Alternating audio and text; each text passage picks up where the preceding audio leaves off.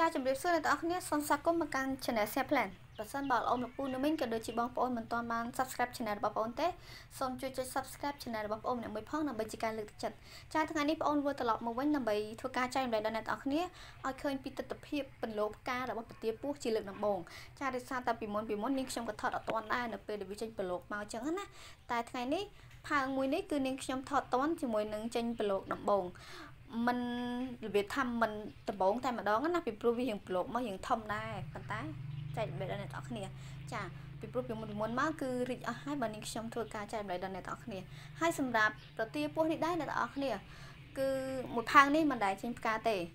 ចេញតែមួយផើងមួយដែលនេះខ្ញុំធ្លាប់ចែកម្លេចតាំងពីឆ្នាំតមិញហ្នឹងគឺផើងពណ៌ក្រហមហ្នឹងគឺចេញផ្ការាល់ឆ្នាំ ឲ្យតែក្នុងខែមួយគឺចេញហើយហើយឆ្នាំនេះចុងឆ្នាំ2022និងដើមឆ្នាំ2023គឺផើង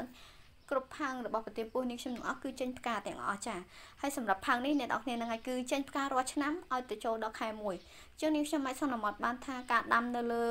ប្រទេសរបស់យើងណាតែប្រទេសកម្ពុជារបស់យើងហ្នឹងគឺប្រទាពោះអាចចេញផ្កានៅក្នុងខែ12ទៅខែ1ឬក៏អាចធ្លាយទៅដល់ខែ2អីចឹងណា ប៉ុន្តែបើតាមការខ្ញុំសិក្សាស្រាវជ្រាវមកដូចជានៅខាងប៉ែកគេផ្សេងដូចជានៅក្នុងរដូវ spring ណាអ្នកនរគ្នាអាចពីខែ3ទៅចឹងទៅហើយមួយផើងនេះក៏នាងខ្ញុំថតអត់បានតន់ដែរហើយផើងនេះគឺភិជាច្រើនចេញមកពីផ្ការហូតអ្នកនរគ្នានេះគឺមួយផ្កាមួយតងផ្ការបស់វាហើយ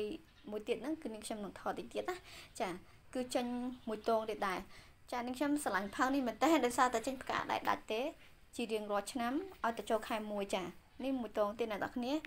ចាអូមានកញ្ចាញ់ជ័យទៀតអ្នកនរគ្នា ចានេះទើបទៅប្រឡូកមកហើយផ្ការបស់វាហ្នឹងគឺចេញនៅកន្លែងដដែលដដែលអ្នកនរគ្នាអត់អត់សូវដូរទេពីច្រើនប៉ះឲ្យអ្នកនរគ្នាយើងហែកមើលតិចមកអាចរំខានលបងកញ្ចាញ់ជ័យតិចហ៎ចានេះគឺយើងប្រឡូកយើងចេញផ្កាតិចតិចហើយចា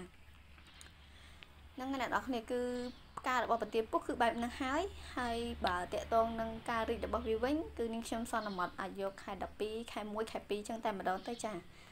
ចាសម្រាប់វីដេអូនេះដែរគឺបងមានតែប៉ុណ្្នឹងទេអរគុណច្រើនជម្រាបលាអ្នកនរគ្នា